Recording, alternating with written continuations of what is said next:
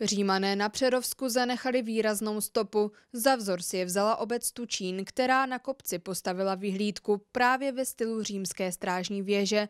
Turisté mohou vyrazit na tříkilometrový okruh po asfaltové cestě, která vede podél Tučínského stromořadí. Zpět pak alejí, která je dovede do obce až ke spolkovému domu tradic a řemesel. Podél vysázené aleje by do budoucna mohla vzniknout i archeologická stezka. Rozhledna se nachází vedle vodárny, tak původně byly takové nějaké návrhy, jakože by to mohlo být něco skoro ve stylu vodojemu. A nakonec vlastně nám tak nějak na to navedl trošku eh, archeolog eh, pan Zdenek Šen, který tady vlastně dělá archeologické průzkumy eh, vůbec v celkové oblasti a v tom regionu.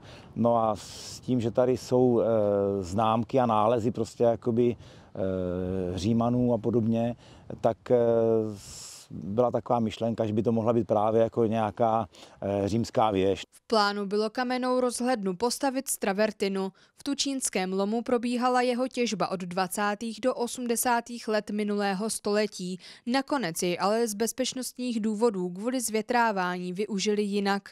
Na stavbě se podíleli i místní. Jsme eh, vyhlásili takovou kamennou sbírku, protože tady v, v obci mají většina domů různé zítky, stodoly prostě a stavby eh, doma, prostě, které už třeba i postupně eh, bourají a toho kamene eh, mají na zahrádkách, tak vlastně nám věnovali kámen, ten travertín na tu stavbu.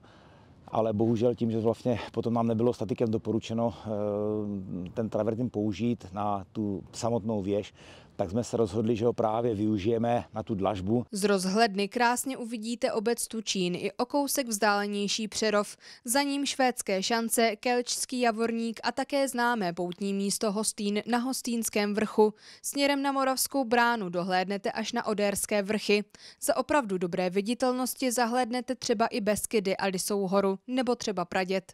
Určitě jsme z toho nadšení, já jsem domorodec tady z Podolí a už eh, ze začátku, když jsem se dozvěděl z kraje roku, že se to tady má stavět, tak eh, jsem proto byl nadšený. Někému říkám, že se na to těším jako malé dítě, přestože už jsou duchoce.